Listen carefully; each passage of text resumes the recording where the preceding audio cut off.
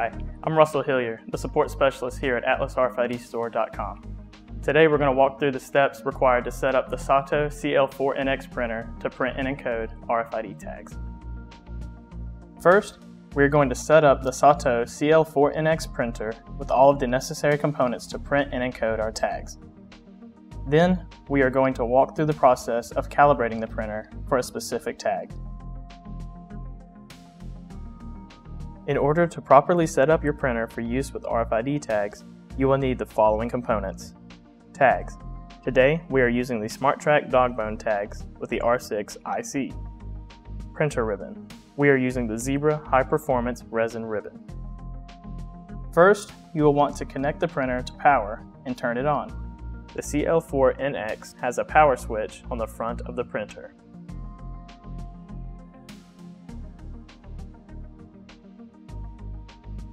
Next, we will install the printer ribbon. The installation of the printer ribbon differs from printer to printer, but for this printer, the ribbon will spool from its position here underneath the printer head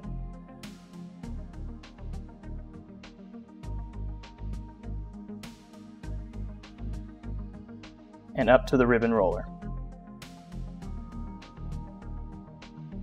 Simply tape the ribbon to the ribbon roller and roll it back a few times to make the ribbon sit tight against the printer head. Now we will set up our tags to feed through the printer. The tag reel sits on the rod in the far back of the printer. And this piece needs to be moved so that it sits tight against the reel.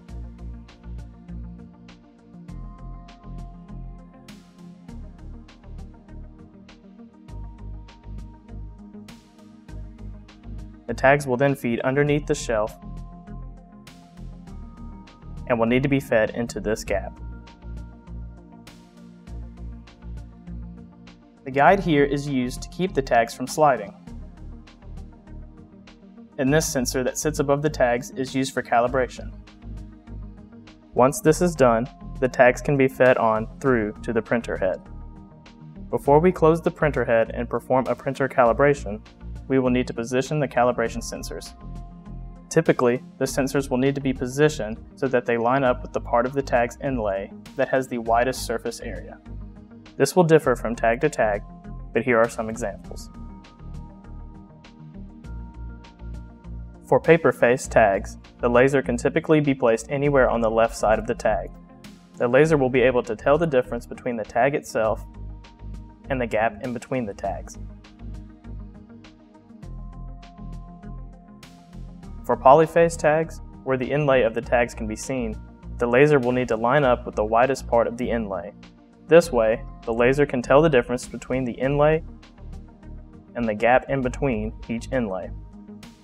Once the ribbon and tags have been loaded into the printer and the calibration laser has been set, we can close the printer head and move on to calibrating the printer for these tags.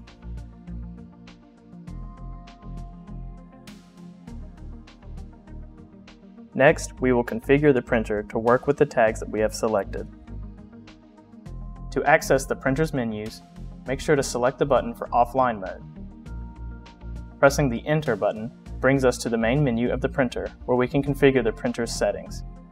The menu can be navigated using the directional buttons, and options can be selected using the Play Pause button. To go back to a previous screen, select the Back button.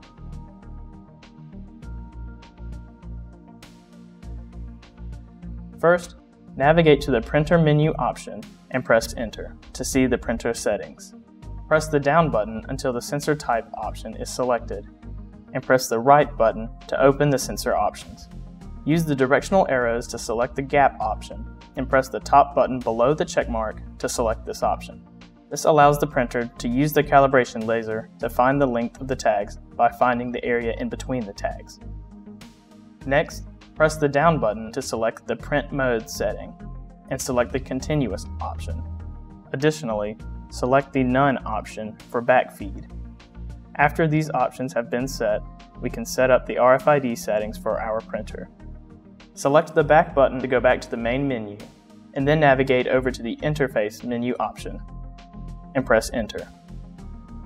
Navigate to the RFID option and open it to see all of the settings for RFID tag printing. This screen allows for the user to input specific RFID read-write values, as well as set the antenna pitch needed for a specific tag.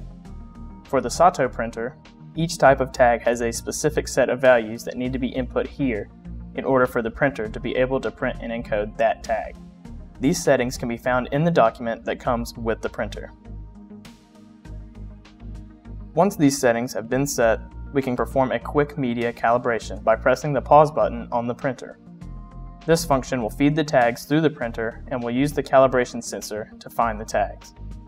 Once this calibration is finished, press the feed button and ensure that an entire tag is fed through each time it is pressed. If only part of the tag or more than one tag is fed through, this media calibration will need to be tried again. If the problem persists, adjust the calibration sensor and try again. And that concludes our video on the Sato CL4NX printer. Thanks for watching, and for more information, please see our blog and resource page. As always, if you have any questions, please don't hesitate to call or send us an email.